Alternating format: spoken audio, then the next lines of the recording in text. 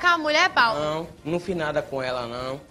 Tá entendendo? Cheguei, tomei só o celular, tomei a corrente de ouro e quando eu ia ganhar, veio os dois caras, me segurou, me levou pra estação Mussurunga e me quebraram no pau.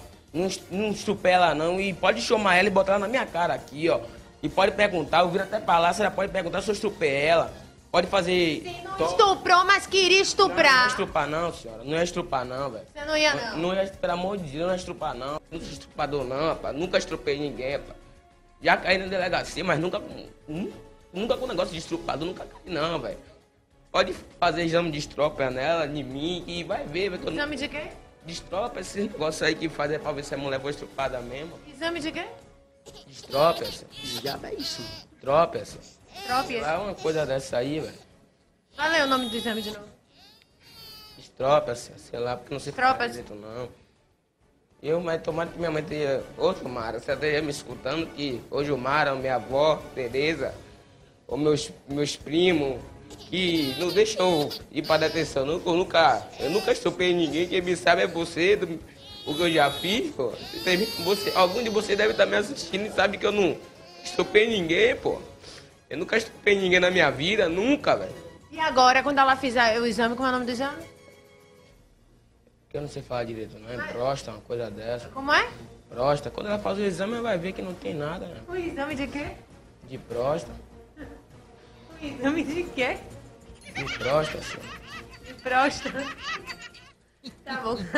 O, exame, o Ziel, depois você não quer que o vídeo não vá pro YouTube. Quando ela fizer o exame de corpo de delito, vai dizer se foi você ou não.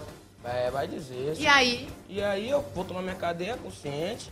Vai. Vou sim. Estuprador. Paulo Sérgio Estuprador. É. Eu caio como estrupador.